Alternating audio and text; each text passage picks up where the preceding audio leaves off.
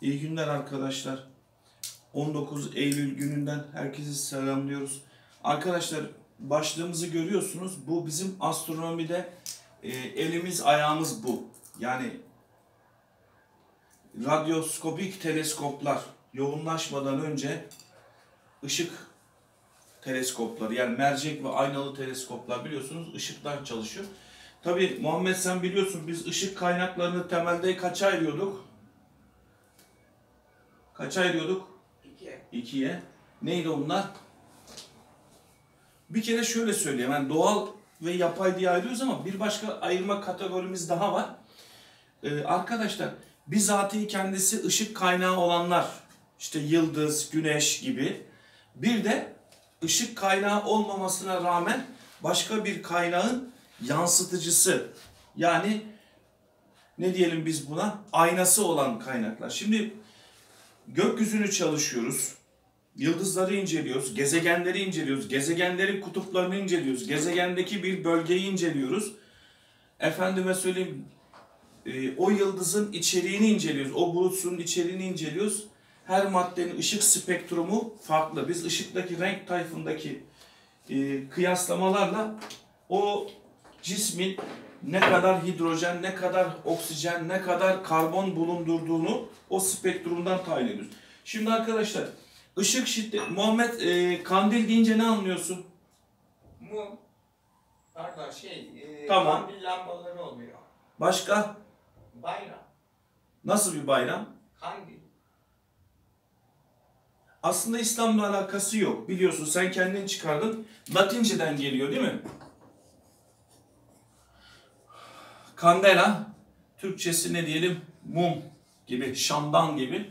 Ee, arkadaşlar ışık kaynak tabi Muhammed zamanında böyle Osmanlı'nın büyük camilerinde halk e, belli dönemlerde işte e, Ramazan'da, Berat'ta veya Hz. Muhammed'in doğum gününde cami gezmeleri yapmışlar. Camilerde o dönem kandillerle aydınlatıldığı için onun adı ne kalmış? Kandil kalmış. Yani dinimizle alakası yok. Sonradan işte Türklerden kaynaklı bir adet olmuş. Şimdi arkadaşlar ışık kaynağında, şimdi zaten bakın ışık şiddeti, coğrafya okuyanlar, eşit ağırlık okuyanlar onlar da bilir. Oradan da kıyaslayabilirsiniz. Nehrin debisi yani böyle bir şiddet o geldiği zaman hemen şunu diyebilirsin. Klasik tanımlama ne diyelim arkadaşlar? Birim zamanda birim zamanda geçen, çıkan, bırakılan, salınan. Tabi ışık olduğu için arkadaşlar ışığın en küçük taneciğine birim zamanda geçen veya çıkan da diyebiliriz foton. Foton miktarı. Muhammed dikkat et. Yalnız şöyle bir durum var. Hocalar bunu internette vesaire söylüyorlar. Fakat şey yok. e, açıklama yok. Ya hocam niye öyle? Neden öyle? Diye bir şey yok. Şu. Peki hemen şunu söyleyeyim arkadaşlar. Muhammed sence bak bu yeşil lazerden ekrana vuran birim zamanda mesela buradaki birim zaman bir saniye olabilir, bir saniyesi olabilir, bir gün olabilir. Işık foton miktarı mı fazladır? Yoksa bundaki mi fazladır? Tabii bizim bunun içinden pilleri çıkartmışsın Muhammed galiba. Yok. Onun yerine şunu kullanabiliriz. Bak burada bir ışık kaynağımız daha var. Görüyorsun değil mi? Siz kameradan görebiliyor musunuz? Ha? Evet. Bir de bizim yukarıda 1000 amperlik var. O, o geldiği zaman onunla müthiş deneyler yapacağız. Arkadaşlar bir lamba bulduk, düşürdük diyorlar halk arasında. Halı sahaların aydınlatma lambaları tam 1000 amper. Bir sokak lambası 150 amper. Onun 6-7 katı bir miktarımız var. Şimdi şöyle bir şey var. Hocam arkadaşlar bunu nasıl... Aha geldi. Şimdi buradan mı daha çok foton çıkıyor, Muhammed buradan mı daha çok çıkıyor? Lazerden. Nereden biliyorsun? Çünkü yoğunlaştırılmış aslında sonuçlar seni şok eder. Işığın bir noktaya yoğunlaştırılmış olması ondan çıkan foton sayısının fazla olduğunu göstermez. Burada en güzel e, ışık şiddeti ölçtüğümüz o böyle bir ampul gibi bir şey var. Dönüyor içerisinde yaprakları. Tuttuğun zaman hızlı hızlı dönüyor. Neydi o radyometre miydi? Evet. İşte onu getirdiğimizde ondan bir tane ben ayarlıyorum yine. Tutacağız bakalım hangisinde daha hızlı dönecek. Bir de bir alet var elektronik. Dönme sayısını ölçüyor. Sana söylüyor hangisinin ışık mı. Şimdi hoca arkadaşlar şunu söylüyorlar ama öğrencileri açıklamıyorlar. Şimdi iki tane fener olsun elimizde arkadaşlar. İki tane fenerimiz var. Bir de şöyle olsun çift fener. Muhammed eee, bundan şu, şu şekilde tam temsili olarak şu şekilde foton çıksın. Bak. Bu şekilde foton çıksın. Bundan ise ondan da mesela ne nasıl çıksın? Şöyle çıksın. Evet arkadaşlar. Evet. Sayı olarak baktığında hangisinin foton sayısı fazla? Muhammed. Şimdi buna bakıyorsun. Bunun gördüğünüz üzere kaç fotonu görünüyor Muhammed burada? 16 foton gözüküyor. Buna bakıyorsun. Bunda kaç foton gözüküyor Muhammed? 20 foton değil mi? 4 kere 5 20. Ama ışık şiddeti foton sayısıyla tanım cümlesinde geçen foton sayısıyla lineer, doğrusal, orantılı değil. İşte bugünkü dersimizde bunu anlatacağız. Çocuklar, öğrenciler hatta bazı öğretmen arkadaşlar da bunu e, direkt ilk etapta ya olur mu öyle şey gibisinden yaklaşabiliyor. Bunu nasıl yapıyoruz? Bu olayı anlatmak için tabii kendisini yine şükranla, mi- minnetle anıyoruz, minnetle anıyoruz. Albert değil mi? Albert Einstein. Ve bu konuda fotoelektriğe getirdiği teorik açıklamalardan dolayı 21 senesinde kendisinin Nobel Dünya Fizik Ödülü'yle ödüllendiriliyor. Muhammed ben kahvemden bir yudum alırken sen de bana silmek için bir Şimdi bugünkü dersimizde biz gök biriminde kullanacağız. Ve şunu insanlara anlatmak için şöyle bir şey yapıyoruz arkadaşlar. Arkadaşlar bizim anlatımlarımız dışındaki ışık şiddeti, aydınlanma, ışık akısı bu konularla ilgili çok sayıda öğretmen arkadaşların YouTube başta olmak üzere video çalışmaları var. O konuda hani anlatılmış bir şeyi tekrar anlatmak istemiyoruz. Eksik kalan. Şimdi şöyle yapıyoruz. İki tane ışık kaynağımız var. Birisi az önce yaptığımız gibi ne yapsın arkadaşlar? Mavi ışık kaynağı. Evet şu şekilde. Mavi bir fenerimiz var. Şu şekilde ne yaptık biz oraya? Böyle bir ışık çıkardı. Hemen altına tekrar kırmızı fenerimizi yapalım. Evet arkadaşlar kırmızı fenerimizde de temsilen ona göre evet şu şekilde temsilen çıkarsın. Peki hangisinin Muhammed enerjisi fazladır? Bak buradan 20 foton çıkmış, buradan 16 foton çıkmış.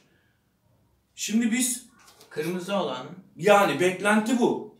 Ama bu az önceki Ama ışık- mavi daha çok saçılma yap. bir dakika saçılmaya girme o farklı bir konu. Fakat foton sayısı az önce tanımlama yaptık. Işık şiddetiyle direkt ilintili değil. Onu açıklayalım. Şimdi arkadaşlar buradaki bu paketin enerjisi E eşittir. Bir tane üzerinden alır sayıyla çarparsın. Bir buna ne diyeyim? Bir ile göster tamam. Birinci lambanın mavi lamba mavi diyelim biz buna. Evet arkadaşlar. H nü'ydü. Nü ışığın frekansı. Gel düzenleme yap bunu. Planck sabiti çarpı ışık hızı bölü dalganın boyu. Mavi dalga boyu. Muhammed. Şimdi buraya yazdık. Kırmızı için kırmızı fotonun enerjisi yine H nü kırmızı burada da mavi olacak eşittir H e, frekans ışık hızı bölü dalga boyu C bölü lambda kırmızı. Şimdi arkadaşlar bakalım hangi rengin hangi rengin efendime söyleyeyim enerjisi daha büyük. Şimdi bakalım. Mavi ışığın enerjisi hemen yazalım.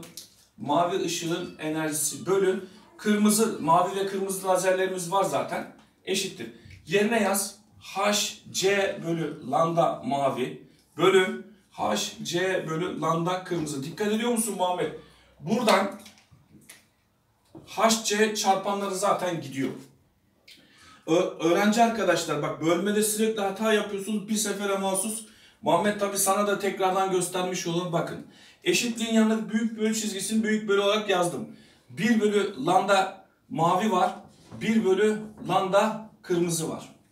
Bölme kuralını işletiyorum. Şimdi şuraya bölme kuralını alacağım. 1 bölü lambda mavi. Muhammed bu şu eşitliğin yanındaki büyük bölü çizgisini hata yapmak istemiyorsan nokta bölüye çeviriyorum. 1 bölü lambda kırmızıyı yazıyorum. Gördün mü? Şimdi böl- bölmenin kuralını 1 bölü lambda mavi ters çevirip çarpıyorduk değil mi? Birinci aynen, ikinci ters çevirip çarp, lambda kırmızı bölü 1. Dolayısıyla sen buraya bu ifadeyi yazarsan şöyle yazacaksın. Bunlar yer değiştirecek. Lambda kırmızı bölü lambda mavi. Şimdi gelelim hikayemize. Üst tarafta bana yer kalmadı. Orayı bir siliyorum. Şöyle bir yer açıyorum kendime. Şuradan. Şu şekilde açtım. Hatta bunu da sileyim. Muhammed kırmızı ışığın dalga boyu istiyorum. Biliyor musun? Hı? Kırmızı ışığın dalga boyu 700 nanometre veya 7000 angstrom diye geçiyor. Hemen yazalım. Lambda kırmızı bölü lambda mavi yukarıya aldım. Neydi arkadaşlar? Ee, kırmızı ışığın dalga boyu 700 nanometre bölü mavi ışığın dalga boyu 400 nanometre. Oranlı olduğu için arkadaşlar buradan nanometre, nanometreler birbirini götürecek. Ne çıktı Muhammed? 7 bölü 4 çıktı. Kim 7 bölü 4 çıktı Muhammed? Bu denkleme biz nasıl girdik? Mavi ışığın enerjisi bölü kırmızı ışığın enerjisi.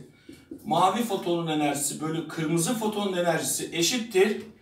Kırmızının dalga boyunun mavinin dalga boyunu oranı o da 7 bölü 4 çıktı. Eğer Muhammed dikkat ediyor musun? 7 değil de birazcık daha büyütüp 8 kabul etsen mavi ışık kırmızı ışığın iki katı enerji taşıyor. O zaman biz teoride öngördüğümüz deneyde yapacağız. Radyometreye bir kırmızı lazer tutacağız. Radyometre çok yavaş döndüğünü göreceksin. Aynı güçte, aynı marka, aynı pillerle beslenen mavi lazer tuttuğumda mavi ışık şeyi de bu arada kapabiliyorsun değil mi? Bitkilerin yeşil ışıktan faydalanması. Maviye daha yakın, daha yüksek enerji çekiyor. Klorofil maddesi. Şimdi arkadaşlar biz ha şöyle yapalım. Az önceki denklem nasıl mantığa oturdu? Şimdi kimse itiraz etmez herhalde hocam. Nasıl olur da e, ışığın taşıdığı enerji sayısı foton sayısıyla direkt ilinti kuramıyoruz. Sebebi bu. Az önceki denklem bu paket olarak değerlendirdiğinde Muhammed dikkat ediyor. Paket olarak değerlendirelim. Buradaki paketin evet Muhammed var mı sürem şöyle çok uzun olsun istemiyorum. Kaç dakikamız 13. olmuş? 13 mü? Hemen 2 dakikaya bitirelim o zaman.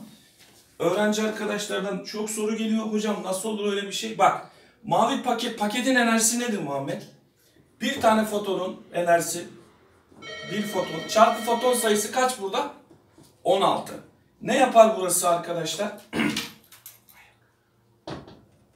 Bölü kırmızının foton sayısı 20. Bakalım bu paket mi büyük, bu paket mi? Burada 16 foton, burada 20 foton.